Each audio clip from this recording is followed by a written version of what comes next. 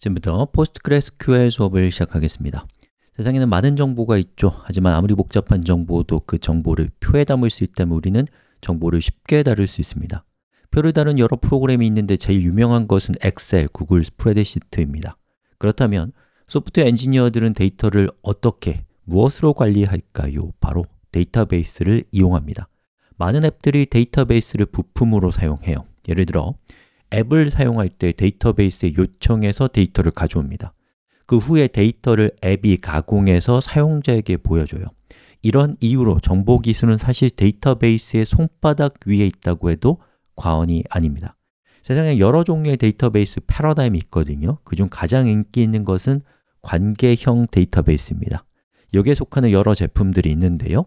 MySQL, Oracle, SQL 서버, 그리고 우리 수업의 주인공인 PostgreSQL 등등등. Dbengines.com에 따르면 2022년 기준으로 1등부터 4등까지를 관계형 데이터베이스가 석권하고 있고 PostgreSQL은 그 중에서 네 번째로 인기 있는 제품입니다. 자, 그래프로 봤을 때 꾸준히 성장 중인 데이터베이스라는 것도 알 수 있어요. 육상동물 최강자인 코끼리, 기억력도 좋다고 하죠. 바로 이 코끼리가 PostgreSQL의 마스코트입니다. 코끼리의 이 엄청난 능력을 나의 것으로 흡수해 봅시다. 준비됐나요? 출발합시다. 자, 우선 PostgreSQL org에 방문합니다. 자, 그리고 다운로드 링크를 클릭해요.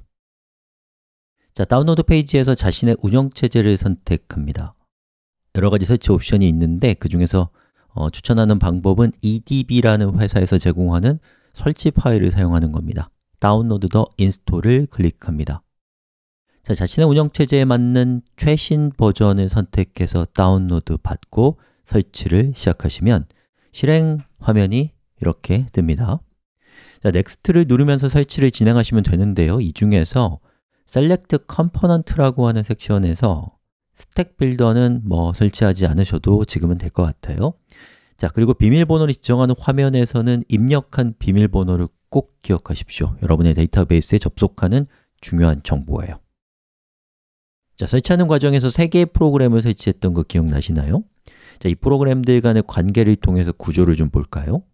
자, PostgreSQL은 서버 클라이언트 구조를 가지고 있습니다 서버는 데이터를 보관하고 관리하는 프로그램이에요 대부분의 일을 하는 앱은 서버입니다 자, 사용자들은 서버의 데이터를 직접 다룰 수가 없거든요 대신 Postgres 클라이언트를 이용해서 서버가 관리하는 데이터에 접근할 수 있습니다. 클라이언트는 여러 가지가 있지만 우리는 GUI 클라이언트인 pgadmin과 command line interface인 PSQL을 이미 가지고 있습니다. 이런 서버 클라이언트 구조 덕분에 서버가 다른 컴퓨터에 있더라도 클라이언트를 이용해서 원격으로 인터넷을 이용해서 다룰 수 있게 됩니다. 자, 이제 서버의 구조를 봅시다. 자, 우리의 최대 관심사는 표입니다 영어로는 테이블이죠. 테이블을 중심으로 간단한 구조를 보면 이렇습니다. 하나의 앱을 만들기 위해서는 여러 개의 테이블이 필요해요. 연관된 테이블을 그룹핑해서 이름을 붙인 것을 스키마라고 합니다. 자, 스키마의 양이 많아지면 그것을 관리하기 위한 그룹이 또 있어야겠죠? 그것이 데이터베이스입니다. 하나의 컴퓨터에는 여러 개의 데이터베이스가 존재할 수 있어요. 같은 컴퓨터에 존재하는 이 데이터베이스를 grouping해서 묶은 것이 클러스터 혹은 데이터베이스 서버라고 부르는 거예요. 바로 이 클러스터가 데이터베이스의 실체라고 할 수 있습니다. 클라이언트들은 이 클러스터와 접속을 시도하게 되는 거예요.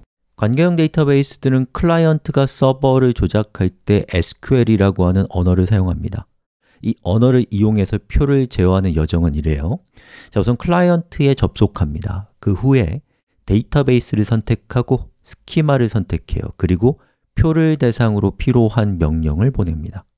SQL이 전달받은 데이터베이스 서버는 사용자가 요청한 작업을 처리한 후에 그 결과를 클라이언트에게 응답합니다. pg admin을 실행합니다. set master password가 뜨는 거는요 이 pg admin이라는 도구에 대한 비밀번호를 설정하는 거예요. 비밀번호를 설정하고 OK를 누릅니다 자, servers를 클릭해 보면요. 자, 이렇게 connect to server라고 하면서 비밀번호를 입력하라고 나오거든요. 방금 전에 입력했던 비밀번호를 입력하시면 됩니다. 저는 PostgreSQL 15라고 되어 있는데요. 자, 이거는 이 pg 어드민이 같은 컴퓨터에 설치되어 있는 PostgreSQL 서버를 인식해서 자동으로 접속 정보를 등록해 놓은 거예요 자, 근데 우리는 직접 한번 접속 정보를 등록을 한번 해볼 거거든요. 저희 서버스에서 오른쪽 클릭하면 레지스터가 있습니다. 서버를 선택해요. 자, 거기에다가 저는 mypg라고 하고 자, 여기 connection이 중요합니다. 여기에다가 우리가 접속하려고 하는 서버의 주소를 적습니다. 우리는 클라이언트와 서버가 같은 컴퓨터에 있기 때문에 localhost를 사용할 거고요. 자 그리고 포트는 5432라고 되어 있는데요. Postgres는 기본적으로 5432번 포트에 서버가 listening 돼 있기 때문에 이거는 그냥 두시면 됩니다. 자, 그 다음에 maintenance 데이터베이스는 postgres고 username은 postgres입니다. 즉, 여러분이 서버를 처음 설치하면 자동으로 기본적으로 postgres라고 하는 데이터베이스와 postgres라고 하는 사용자가 존재하는데 그거를 입력한 거예요. 패스워드는요, 설치할 때 입력하신 비밀번호를 입력하시면 됩니다. 자, 그리고 save 버튼을 누르면 저장이 돼요. 자, 그리고 더블 클릭하시면 접속이 되거든요. 그러면 여기에 보면 데이터베이스와 roles가 있는데요. 자, roles가 유저입니다. 아까 말씀드린 것처럼 postgres라고 하는 유저가 기본적으로 등록되어 있고 저 유저가 슈퍼 관리자라고 보시면 되겠습니다. 자, 그리고 데이터베이스를 클릭하면 기본적으로 postgres라고 하는 데이터베이스가 존재하는 거예요. 자, 우리는 데이터베이스도 직접 한번 만들어 볼까요? 자, 여러분이 어떤 서비스를 만들기 위해서 데이터베이스가 필요하다. 그러면 그 서비스를 위한 데이터베이스를 일반적으로 만듭니다. 예를 들면 서비스의 이름이 opentutorials다. 그럼 오른쪽 클릭해서 create database 그리고 여기에다가 opentutorials라고 하고요 그럼 이 opentutorials의 기본적인 사용자, 예, 소유자는 postgres라는 사용자가 되는 거고요 자, 여기에서 SQL이라고 되어 있는 부분을 클릭해 보세요 자, 그러면 여기 있는 이 코드가 결국에 서버로 전달돼서 이 코드에 의해서 opentutorials라는 데이터베이스가 create 되는 거예요 자, 이걸 기억하실 필요는 없습니다 예. 자, 그리고 save 버튼 눌러서 데이터베이스를 생성해 볼까요? 자, 클릭하면 opentutorials라는 데이터베이스가 생겼습니다. 자, 여러분, 데이터베이스를 만든 다음에 우리가 표와 관련된 작업을 하려면 그 다음에 뭘 해야 되냐? 예, 표들의 그룹, 표들의 폴더라고 할수 있는 스키마를 선택을 해야 되는데요. 자, 기본적으로 Postgres는 public이라고 하는 스키마를 가지고 있고 여기서 작업하시면 됩니다. 스키마는 따로 만들진 않을게요. 자, 그 다음에 우리가 드디어 테이블을 이제 만들 수가 있게 됐는데요. 여기는 테이블스를 더블 클릭하면 현재는 아무것도 없습니다. 오른쪽 클릭해서 Create Table을 선택합니다. 자, 그리고 테이블에 이름을 적습니다. 저는 글을 저장할 테이블을 만들 겁니다. 그래서 topic이라는 이름의 테이블을 만들 거예요. 이 topic은 postgres 유저의 소유고 스키마에서 스키마는 public에 속해 있다 라고 되어 있습니다 자, 그럼 우리 표에서 제일 먼저 열을 만들어야죠. 자, 열은 영어로 column 씁니다. column을 클릭해요. 자, 그러면 column을 정의할 수 있는 화면이 떠요. 자, 저는 구글 스프레드시트에서 미리 우리가 할 작업을 손으로 해봤거든요. 자, 우리는 id, title, body, created이라고 하는 column을 만들 겁니다. 자, id는 식별자가 올 거기 때문에 중복되면 안 돼요. 그래서 숫자를 1씩 증가시켰고요. title은 짧은 텍스트, body는 긴 텍스트 자, 그리고 created는 날짜와 시간이 표현되도록 할 겁니다. 오른쪽에 보시면 더하기가 있어요. 이걸 클릭합니다. 자, 그리고 여기에다가 id라고 적어요.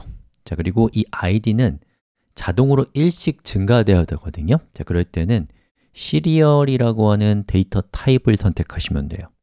자, 그리고 null이라는 것은 값이 없는 것을 허용할 거냐라는 뜻인데 어, id 값은 반드시 있어야 우리가 그 행을 찾을 수 있겠죠. 그래서 난 널을 선택합니다. 또 id 값과 같은 경우에는 중복되면 안 되죠. 중복을 방지하고 그리고 자주 조회를 하겠죠. 그때 빠르게 조회하기 위해서는 얘를 primary key로 지정하셔야 돼요. 자, primary를 선택했습니다. 자, 그 다음에 이제 title을 지정하는데요. 타이틀. 자, title의 데이터 타입은요. Char이라고 입력하면 character가 있습니다. character는 문자라는 뜻이에요 varying이라고 되어 있는 것을 선택하면 가변적인 길이의 텍스트를 선택하는 거예요 저는 어, 제목은 한 30글자 뭐 넉넉하게 50글자까지만 딱 기록하겠다라고 이렇게 지정을 했습니다 그리고 제목은 반드시 필요하니까 난 너를 선택했고요 자, 본문은 body입니다. body. 자, 그리고 데이터 타입은 긴 텍스트를 허용해야 되기 때문에 데이터 타입은 텍스트를 선택했습니다. 그리고 body는 없을 수도 있기 때문에 난너를 선택했어요. 자, 그리고 생성일은 created이라는 이름을 적고요. 자, 시간과 날짜를 표시할 때는 time stamp with time zero zone을 선택하시면 됩니다. 그리고 어, 값이 반드시 있어야 되니까 난너를 선택했고 또 하나 여러분이 이제 값을 행을 추가할 때요 그 시간을 수동으로 하나하나 하려고 그러면 좀 귀찮잖아요? 자동으로 행이 추가될 때 시간이 기록되면 얼마나 좋아요? 자, 그때 사용할 수 있는 방법이 디폴트 값을 now라는 함수의 결과 값을 주는 거예요. 그러면 자동으로 현재 시간이 찍힙니다. 자, 그리고 나서 SQL을 클릭해 보면요. 저 테이블을 만들 때 필요한, 만드는 데 사용될 SQL문이 보입니다. 음, 보시면 id는 시리얼이고 난널이다. title, body, created 그리고 id 컬럼이 primary 키다 라고 하는 SQL문이 보이죠. 자, 이거는 지금 여러분들 단계에서는 기억할 필요는 없고 아, 저렇게 표도 SQL문으로 만드는구나 정도만 인상 깊게 보아두시면 됩니다. 자, 세이브를 눌러서 토픽 테이블을 만들겠습니다. 클릭. 자 그럼 보시는 것처럼 토픽 테이블이 만들어졌어요 자, 지금부터는 행을 조작하는 작업을 할 건데요. 애플리케이션 개발자라면 SQL을 이용해서 행을 조작하는 방법쯤은 익혀두셔야 됩니다. 자, SQL은 구조화된 질의 언어라고 번역할 수 있겠죠? 자, 클라이언트가 서버에게 여러 가지 요청을 전달할 때 사용하는 언어입니다. 여기서 이 언어를 익혀두시면 다른 관계형 데이터베이스를 쓸 때도 바로 적응할 수 있어요. 가성비가 높은 언어예요 어렵지도 않아요 자, 지금부터 우리는 SQL로 CRUD 하는 법을 알아볼 건데요. C는 create, R은 read, update, delete입니다. 이 작업에 해당되는 SQL은 insert, select, update, delete예요. 자, 이 중에서도 제일 중요한 것은 또 여러분이 기억해 두셨으면 하는 것은 insert와 select입니다. 생성하지 않는다면 읽을 수 없고 읽지 않을 건데 생성할 이유는 없으니까요. 가장 본질적인 오퍼레이션들입니다 자, 우선 GUI 도구를 이용해서 행을 한번 추가해 보겠습니다. 자, 위쪽에 보시면요. View Data라고 하는 어, 버튼이 있어요. 클릭하면 이런 화면이 떠요. 자, 여기에서 Add Row를 클릭합니다. Row는 행이란 뜻이죠. 자, id는 자동으로 증가될 거기 때문에 비워두세요. 자, 타이틀은 어, insert SQL문의 제목을 적습니다 자, body는 insert가 어떤 것이다라는 내용을 적었고요. 그리고 create은 자동으로 디폴트 값을 우리가 세팅을 해놨기 때문에 그냥 비워두시면 됩니다. 자, 그리고 여기 보시면 save data changes가 있는데 이것을 클릭하면 보시는 것처럼 행이 추가되고 id 값과 시간이 자동으로 추가된 것을 볼 수 있습니다 이 작업을 SQL문으로 우리가 하려고 하는데요. 자, 이걸 또 외우려고 하면 또 괴로워요. 고통스럽고. 자주 쓰다 보면 외워지고 자주 안 쓰면 외울 필요가 없는 거잖아요. 자, Postgres SQL 치트시트로 검색해 보시면요. 뭐 이런 사이트가 나옵니다. 자, 이런 사이트 안으로 들어가서 여기에 있는 어, 뭐 쿼리라고 되어 있는 부분을 보면 뭐 테이블을 만드는 방법도 나와 있고 인서트를 할 때도 어떻게 하면 되는지가 나와 있고 이런 것들을 필요할 때마다 검색하면 되니까 부담 갖지는 마시고요. 그럼 이제 SQL문을 입력해 보자고요. 자, 여기 보시면 query tool이라고 하는 버튼이 있습니다. 클릭하면 query를 직접 실행할 수 있는 화면이 떠요. 자, 여기에다가 insert into라고 했습니다. 즉, 행을 insert 하겠다. 어디로 into 하겠다? 토픽에다가. 자, 여기 보시면 insert into는 제가 대문자로 했는데요. 저건 소문자로 해도 되는데 관습적으로 이런 명령어는 대문자로 합니다. 자, 토픽이라고 하고요. 그리고 제가 입력하려고 하는 데이터는 타이틀과 body예요. id와 created는 자동으로 생성되니까. 자, 난 타이틀과 body 값을 입력할 거야. 그 구체적인 값은 values에다가 적습니다. 자, 이때 우리가 입력할 데이터는 문자열이죠. 자, 그러면 따옴표를 쓰고요. 어, 저는 아까 insert를 했으니까 insert 다음에 select. 그리고 이게 제목이고 select is 땡땡땡. 그리고 세미콜론을 하셔야 됩니다. 자, 그 다음에 여기 있는 플레이 버튼을 클릭하시면 저 SQL 문이 우리의 데이터베이스 서버로 전송돼서 데이터가 생성이 되고 그 결과가 아래에 이렇게 출력이 됩니다. 자, 현재 제가 가지고 있는 데이터는 이렇습니다 자, 이 데이터를 읽는 방법을 SQL에서는 어떻게 하는가를 살펴보겠습니다. 자, query tool을 열고요. 자, 우리가 원하는 것은 데이터를 읽는 걸, 읽고 싶은 데이터를 선택하는 거기 때문에 select로 시작합니다. 자, 그리고 모든 column을 가져오고 싶다면 별표, from, topic 해서 토픽의 데이터를 가져오겠다라고 하고 실행하면 이렇게 됩니다 자, 이때 제일 먼저 여러분이 하셔야 될 것은 데이터의 양을 줄이는 거예요. 자, 저는 column부터 줄여보겠습니다. 저는 id와 title만 필요하거든요. 자, 그럼 이 별표가 있는 자리에 id, 타이틀 column 이름을 적고요. 실행하면 보시는 것처럼 id와 column만 표현이 됩니다. 자, 그 다음에 행을 제한하는 것도 굉장히 중요합니다. 여러분 만약에 행이 뭐 1억 건이 있다. 근데 1억 건을 그냥 가져온다면 컴퓨터는 예, 멈출 수가 있습니다. 굉장히 위험해지기 때문에 여러분이 원하는 데이터를 행을 제한할 수 있어야 돼요. 자, 그때 사용하는 키워드는 where문이고요. 자, 저는 id가 1인 행만 가져오고 싶다. 이렇게 하고 실행하면 이렇게 출력됩니다. 자, 근데 여러분이 id가 1이 아닌 다른 모든 것들을 가져오고 싶다. 그러면 부등호를 이렇게 양쪽을 바라보게 하면 저게 이제 일종의 부정의 의미가 되면서 실행했을 때 id가 1이 아닌 행만을 가져옵니다. 자, 만약에 id가 1보다 큰 것만 가져오고 싶다 그럼 어떻게 하면 될까요? 이렇게 하시고 실행하시면 되겠죠.